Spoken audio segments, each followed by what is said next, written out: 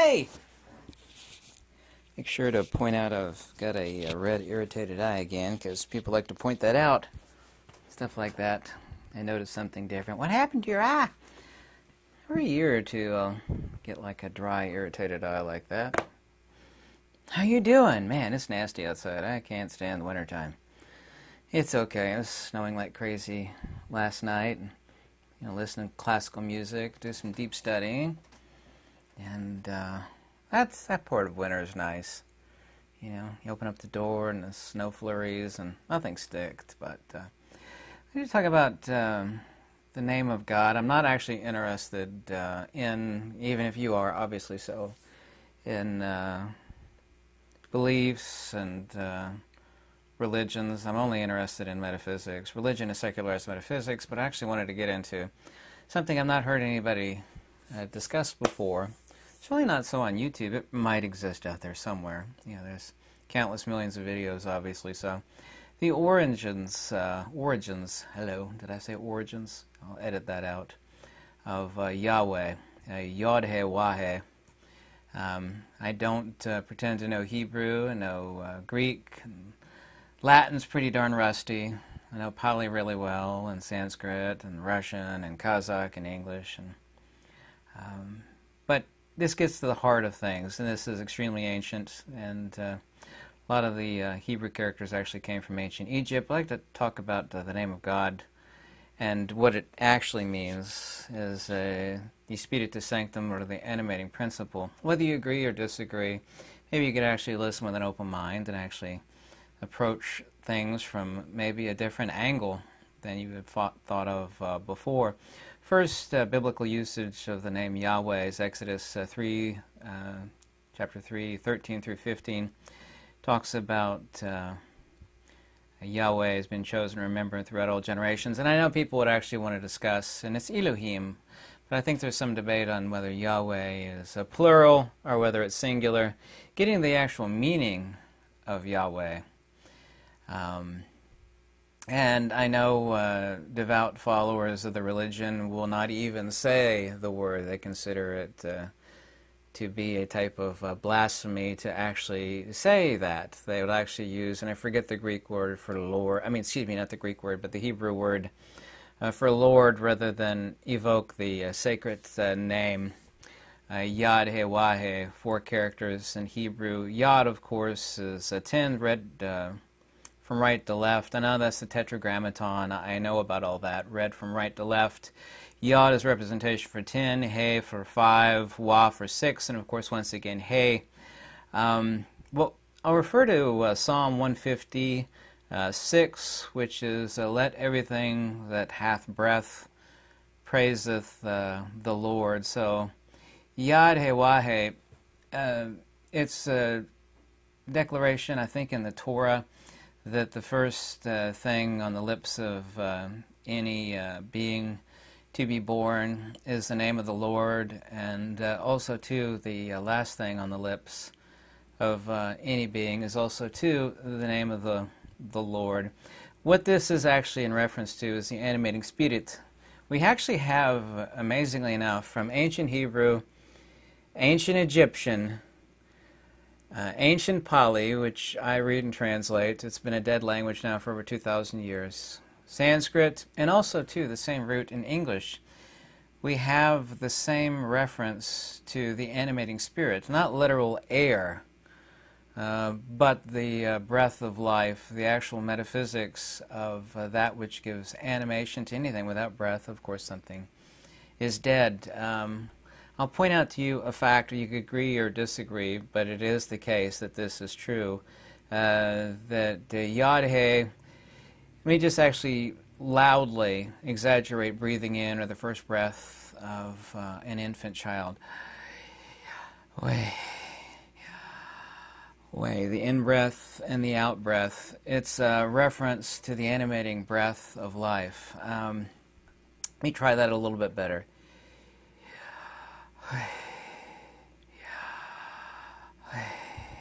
In breath, out breath, and of course the division between both. And this actually, and Elohim I know is plural.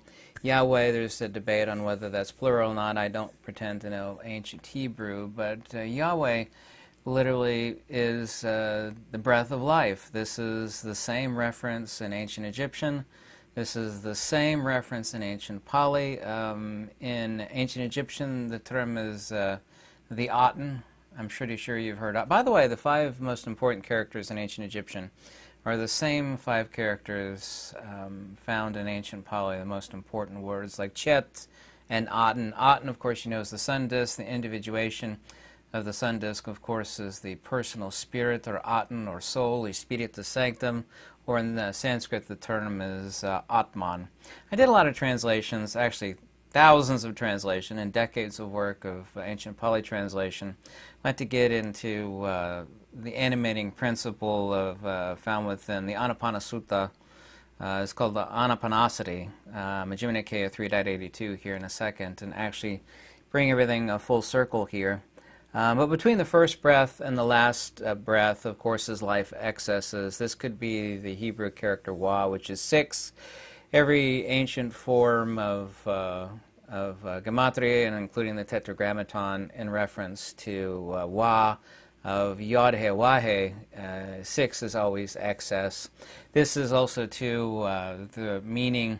Some uh, numbers, big numbers like two letter numbers and three letter numbers, I've talked about this before years ago are actually a word. So instead, instead of saying like 1,256, you would say a word where the characters actually add up to you know that number.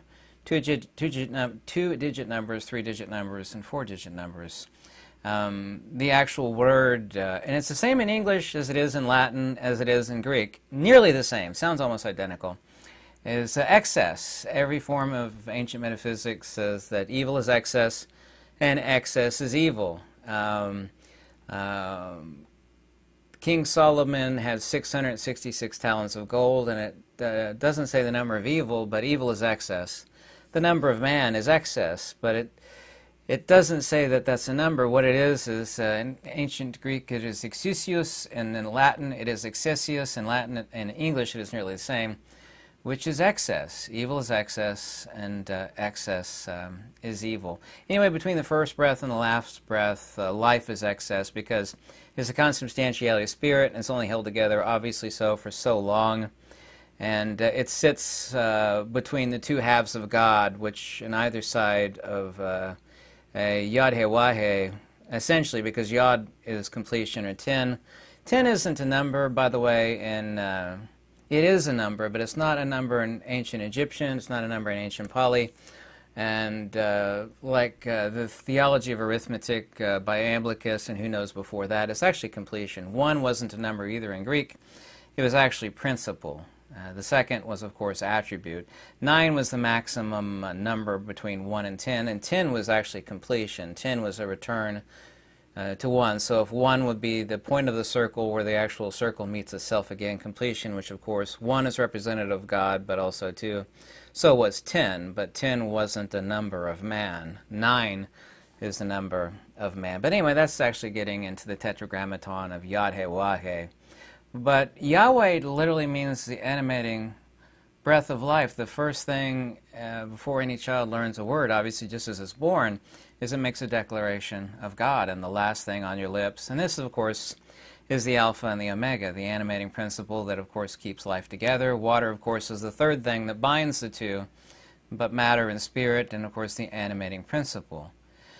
When you actually breathe in and breathe out, you're actually making a declaration of, uh, of the Almighty from uh, the principle of what is uh, the name of God. The name of God is the in breath and the out breath, the animating principle that keeps you alive. We have the same thing in English, except as a root, like atmosphere, atmospheric. That root, of course, is atmo, no different than Sanskrit, meaning not literal air, but the pneumatic principle of life. And people, unfortunately, have taken this literally, and a lot of people do so called breath meditation. I've been speaking about this for decades now, that there's no such thing as breath meditation in sutta, in the Digha Nikaya, Majjhima Nikaya, Uttara Nikaya, Khuddaka Nikaya, Samyutta Nikaya, there's not. People say, well, I do it, I feel calmer. Now, what you're doing engaging in a ritual or a practice, it is about being antecedent to the breath. We're talking about seeking the Godhead. or the absolute. What people believe in, in particular re religions, I'm not interested in debating and I'm not actually interested in at all. I'm only interested in the fundamental metaphysics behind all of this, meaning that the word Yahweh, or Yahweh is a reference to the in-breath and the out-breath of the animating spirit, the Sanctum that gives anything life, the breath of life. I mean, the breath of life, of course, is literally found in Genesis uh, several times. No, I think it's two times. Correct me if I'm wrong in that. I know it occurs one time early in Genesis. Um, but these, of course, are uh, the first and last words of any living creature, specifically in reference to humans, meaning making the declaration of the name of God. It's kind of hard to exaggerate as I'm literally exaggerating breathing.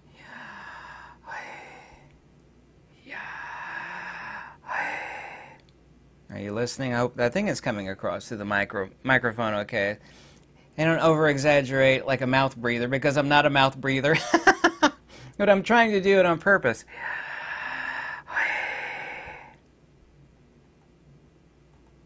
That's the first declaration of a living child is to say the name of God.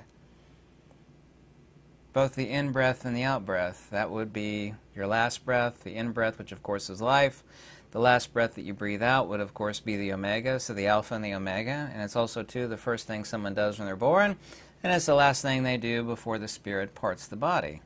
But there's no spirit in the body, as I've spoken about endlessly. It's coordinate to the body, but that's a matter for another discussion. But this is the animating principle, literally the in breath and out breath, and uh, the unity of both. The in breath and the out breath would be no different than the principle and the attribute. Everything, by the way, in nature is completely mirrored from top to bottom. Um, the dielectric and the magnetic would be no different than talking about the in-breath and out-breath, which are not two different things, rather one thing. Light and illumination.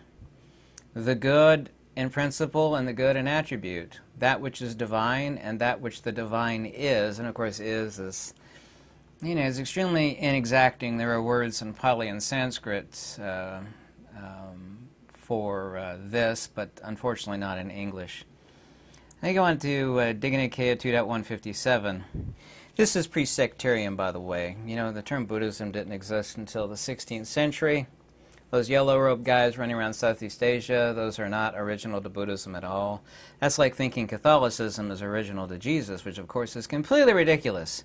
99% of everything relative to the Catholic Church is completely unoriginal. Not 99%, but a lot you know, the uh, iconography, you know, all the ridiculousness of same is uh, unconnected to the original article. I'm only interested in the original article, by the way. No longer with, this is the declaration made of the Absolute, someone who has obtained to the Absolute Godhead or the transcendent principle. No longer with, in breath or out breath, so he who is steadfast in uh, spirit, uh, suvimuta cetasa, inherently quelled from all desires, because desire is a perturbation. The quelling of desires, of course, is the perfection of wisdom, and uh, the cessation of the imperpetuity of life, not only through this life, but through the next. The mighty sage has passed beyond. Um, with uh, spirit or nous or chitta is the Pali term, limitless, he no longer bears sensations. Uh, perfectly illuminated and unbound, which is what the word nibbana means. Nibbana is a Pali word for the Sanskrit term nirvana. They're both the same term, different uh, languages. His spirit or nous or chitta is uh, definitely ahu vimuta. Ahu vimuta means uh, absolutely liberated or fully liberated. This is taintlessness, uh, anasava. In other words, there's no longer taints of uh, false identification such that the spirit or nous has uh, has uh, been thoroughly uh, quenched, quenched from desire. This is uh, parinibbana. Um, there's no such thing.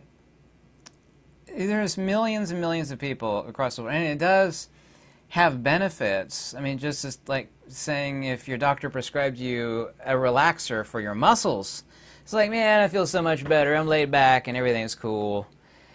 And people will talk about the benefits of so-called breath meditation. Meditation comes from the word melite, which means a practice or ritual. People need to be doing mneme. Every time the breath is mentioned, it is a reference to the animating principle, which of course is the core of focus. This ideation of breath meditation does not exist. People, countless thousands of people have been debating it for decades. Say, well, I feel so much better when I do it. It's like, well, yes, you do, but there's a million things that you could do to do that. These are practices or rituals. This is not about gaining wisdom or, or liberation, uh, proximity, self proximity, or uh, to that which you inherently are, antecedent to the phenomena. The phenomena, of course, is modulation.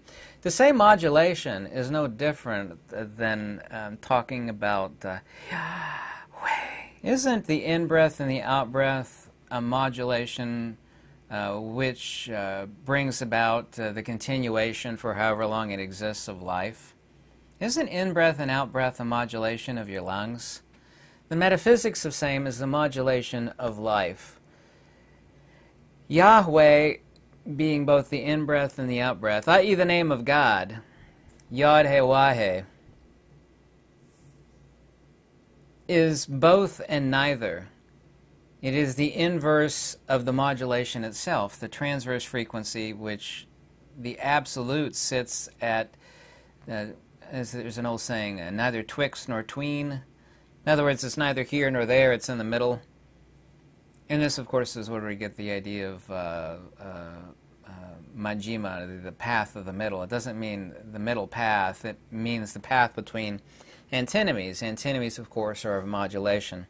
In Jhima Nikaya 3.82, the most important passage, um, actually, as far as the methodology, which, of course, is theurgy, which is anamnesis, which is smriti, which is what the Greeks called mneme recollection is Platonic recollection, and it's not specifically Platonic, it's much more ancient than that. It is literally called the Anapanasati Sutta. This is a combination of uh, two prefixals, an, which means prior to, apanna is a reference to breath or intake, but not literal breath, but the animating principle. Sati means recollection, it means mneme, Platonic recollection. It's not a practice or a ritual, it is literally theurgy, because objective negation leads to subjective synthesis. So this literally means, and to a pedestrian who's not familiar with metaphysics, when I actually say what anapanasati means, it might perplex you, but it's not perplexing at all. It means recollection or anamnesis of the before breath. Seeing that which you are before uh, either antinomy of existence, the in breath. You know, everybody is a breath away, as they say, from death. And someone might be, uh, say, if they're stillborn, for example, and you give CPR to something, it's a half a, a half a breath uh, away from life. And once they start breathing, it's like, okay, they're alive. But what sits between the in breath and the out breath? The modulation, which of course is that which sustains life. Because this is the name of God.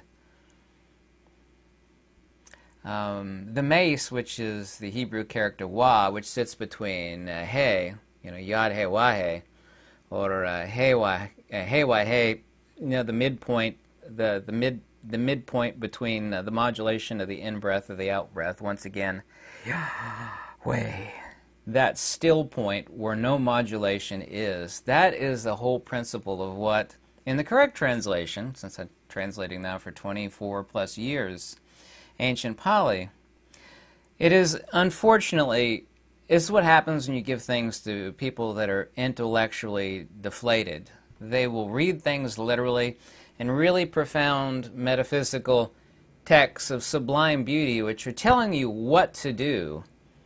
It's not a practice or a ritual, which is melite, which is where we get the word meditation. There's no term in ancient Pali that makes mention of uh, rituals relative to liberation or wisdom. It just doesn't exist. If a practice or a ritual could get you there, and by there I mean uh, transcendence, then you could take an unalive being, someone who's passed away, and hook them up to animatronic, uh, you know, string pulling like a puppet, and have it engage in rituals, and all of a sudden you could. I mean, if you follow that train of logic, if a practice or ritual led to liberation, then you could take a puppet and make it perform rituals, right? And then, of course, it would. That's completely preposterous, right? I mean, that's no different than saying you could take uh, someone who recently deceased, and you know, have a bunch of people move their arms and legs and have it bow, and do all sorts of prostrations and um, external rituals, which is where the word meditation comes from. It's a practice or ritual. That's what we went from the Greek word melite to the Greek word meditatio, which became the English word meditation. It's practice or ritual. Rituals and practices can calm you down, but they have nothing to do with either wisdom, transcendence, or liberation. I mean, that's not my opinion or feeling or belief. I mean, that's just an irreducible, hardcore fact. It's not up for debate because it can't be debated. If you think a ritual or a practice led to liberation, then I could, you know, you see those little articulating puppets that you could get that uh, art teachers use. It's a little wooden puppet like this, and you know, you can bend its little arms and legs and stuff to help uh, people draw. Well, you could just bend that little wooden puppet and like Pinocchio and do the right rituals enough times, and well, sure, liberation. That little piece of wood might like vanish into the ephemeral ether because it did all the right rituals. That's what people are saying. This is what happens when profane, unintelligent, metaphysically illiterate people translate this. So it means breath meditation. This is the sutta, uh, Sanskrit word, the sutra um, of breath meditation. Anyway, this, all of this is exactly the same. Atan, Atman, Yahe the animating breath of life, the pneumatic principle which makes life possible. So, well, that's life. It's like, well, what is life? Well, life is when someone's alive. It's like, well, that's a nice description. You just said life is when someone's alive versus what? Death is not the opposite of life. Death is the end of life. It's not the opposite. Anyway, the first thing a child says at birth and the last thing anybody says before they die is the name of God. it's hard being, I'm not a mouth breather, so it's hard for me to do that actually. I don't have emphysema or anything. It is hard to imitate a mouth breather, but I do that to, of course, exaggerate saying Yahweh. It's the animating breath of life. the Spiritus Sanctum. Not literal breath. By the way, I used to use the lack of logic and intelligence against these people. Say, well, you're focusing on your breath, right? That's right. It makes calms me down. I said, that can't be any way connected to liberation or wisdom. It's totally impossible because if you're interested in focusing on breath, why don't you just focus on the flatulence coming out your backside when you eat a bowl of beans? I mean, one breath is the same as any other. You're focusing on gas passing in or out of your lips. Why not focus on the gas coming out your uh, your tailpipe? By your logic, which is totally illogical, and total lack of metaphysical understanding, you say that, you know, this is somehow connected to liberate. Of course, they deny a liberant anyway, especially if you're talking about a Buddhist. These uh, people are antithetical to what doctrine actually says, which, of course, the Atman of the soul is the entire light and refuge. It's a charioteer, and they don't even believe in a liberance. Like, you can't talk about liberation without a liberant. That's completely irrational and illogical. It's like, well, if you think that's somehow connected to liberation, which of course you deny a liberant, but that's a matter for another debate, which is easy to beat somebody on, then you can achieve liberation by focusing on flatulence, because it's just more gas passing out of the body. The in-breath or the out-breath out of your mouth is just gas. It's just a different variety out of your uh, tailpipe. And that always usually makes them freeze, kind of like a you know, a broken record, they stop and think, well, you know, that makes sense, but I won't concede to it. It's like uh, people that have been uh, learning how to fight dragons for years in school, you know, paid a lot of money and spent a lot of time. It's like, you know, dragons don't exist. Oh, how dare you say that? I've been learning how to fight dragons for years. Well, you've been learning nonsense. You just wasted a lot of time doing something that wasn't actually conducive to what you thought it was. But that's a matter for another discussion. Um, all metaphysics gets uh, turned profane like this is not literal breath. I know I've said that many times in this video, but I keep saying it over and over and over and over and over to people, and people don't get it. It is not literal breath. It is the spiritus sanctum. It's the aten, it's the chit, it's the nous. Take your language, take your pick. I'll tell you which word it is. It's not breath. It is the breath of life. We have the same thing. It goes from ancient Egyptian, ancient Hebrew, uh, ancient Pali, Sanskrit, same in English. The same root, aten, Aten, Aten, Aten, Aten. Except with Yad He Wahe, it is the literal sound one makes when one breathes in and one breathes out. This is the modulation of life. Life is a modulation. It's a frequency. Not literal frequency, but essentially metaphysical frequency, of course. The antecedent of frequency is right here. You take the inverse of modulation and you would have God right here, which would be rest, wouldn't it? If anything is moving, undulating, whatever axis, multiple axes, wouldn't rest true energy? And rest would be just another fancy word for God, would it not? It would be right in the center, inverse to either modulation. This is what anapanasati means. It means antecedentness or Platonic recollection. The Greek word is mneme, antecede before the breath. What is before the modulation is right there. That would be Yadhe That would be God.